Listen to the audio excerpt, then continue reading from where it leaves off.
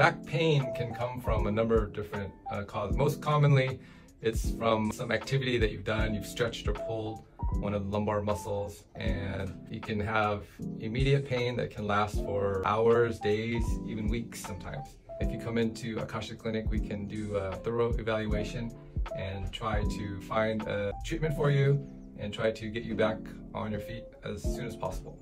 Some people have uh, chronic back pain where they've suffered for months and weeks. It will come off and on.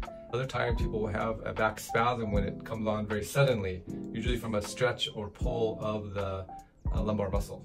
Well, first thing we'd have to do an evaluation and see what area is causing the pain. Make sure they don't have any more severe symptoms, including uh, radicular pain, which is pain going down into your leg and then we can try to develop a treatment plan, which may include uh, osteopathic treatment, medical management, imaging, whatever is needed to get you better as soon as possible.